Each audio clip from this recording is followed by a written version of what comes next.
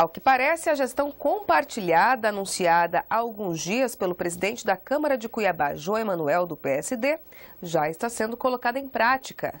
Alguns vereadores criaram uma comissão com o objetivo de promover uma reforma administrativa na casa.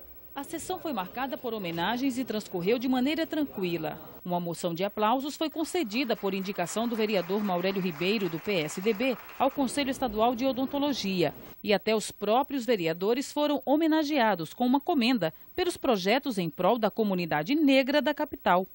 Com relação aos assuntos internos, os vereadores Chico 2000 do PR, Maurélio Ribeiro do PSDB, Allan Kardec do PT e Renivaldo Nascimento do PDT criaram uma comissão que pretende fazer um levantamento geral da parte administrativa do legislativo, no intuito de reduzir gastos. Essa comissão é para ajudar a presidência a gerir os recursos dessa casa, a gerir os recursos públicos.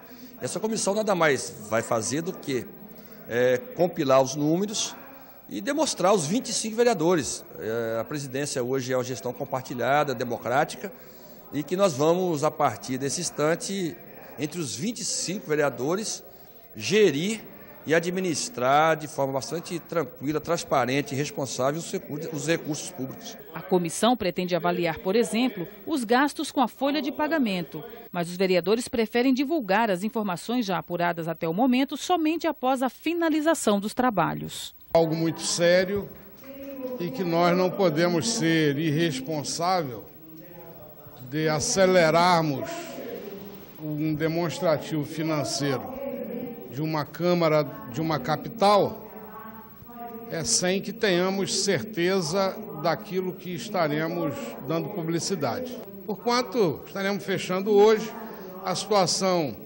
eh, inicial que se apresenta uma situação complicada, todos sabem, medidas precisarão ser tomadas, medidas que não serão estabelecidas exclusivamente por mim, e sim deliberadas por um colégio de 25 vereadores.